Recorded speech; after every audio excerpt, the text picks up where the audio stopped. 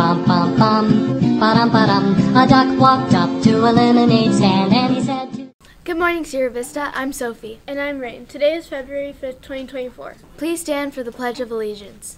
Put your right hand over your heart. Ready, begin.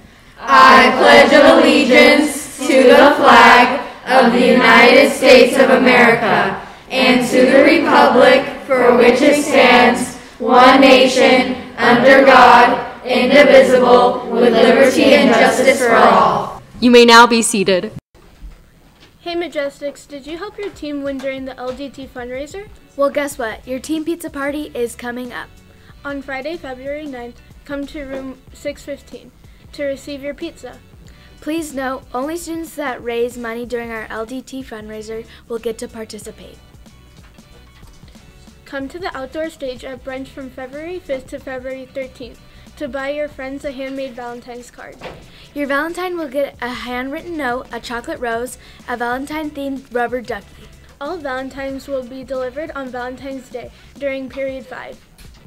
Hey Bison, are you interested in being a chef one day? Did you take culinary with Miss Cummins and found your passion? There is a culinary arts pathway that students can take while in high school at Canyon. This pathway gives students knowledge they need to be successful. There are great advantages to getting ahead in your career by having experience and knowledge. If you are interested in learning more about this opportunity, come to the MPR at lunch on February 7th. Attention club students and advisors. Club photos will be taken Monday, February 12th. Please check in with your club advisor for more information about what time and where your club picture will be taken. Stop by room 618 if you have any other questions. We've got a special story for you today, especially because it's February. You know what that means, right? Absolutely. It's Black History Month, and that's why our story brings us today to Bruce Beach in Manhattan Beach, California. Yeah, the city installed a bronze plaque there last February to remember the tough history and racial discrimination. Back in 1912, the Bruces, a black family, brought land to create a beach resort for the black community. The community thrived with multiple families building cottages by the beach, but sadly they faced a lot of harassment from their neighbors. In 1924, the city officials took away their land, condemning the neighborhood and building a park in its place. It's a really tough part of California history to look back on. Absolutely, and you won't believe it, someone just stole the plaque. Wow, this story is not just about the plaque, it's remembering the struggles in the past.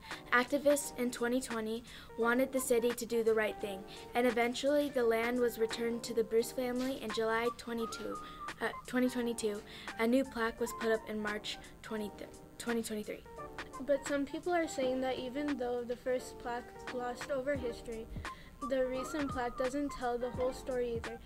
Critics think it's not acknowledge the real ch- challenges the Bruce family faced. And it's happening happening in other places too. Like a hundred bl- bronze plaques were stolen from the cemetery in Carson. It's pretty concerning.